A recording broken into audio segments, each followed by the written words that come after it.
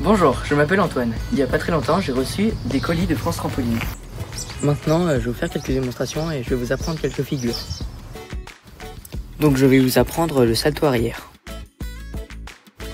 Il faut d'abord s'entraîner à savoir tomber sur le dos plusieurs fois.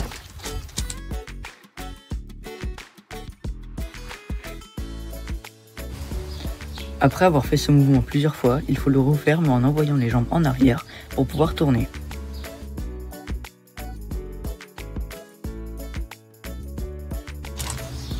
Maintenant que c'est fait, il faut vous entraîner à ramener vos genoux vers votre poitrine pour mieux tourner.